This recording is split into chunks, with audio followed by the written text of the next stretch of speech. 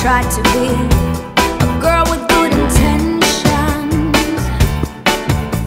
Around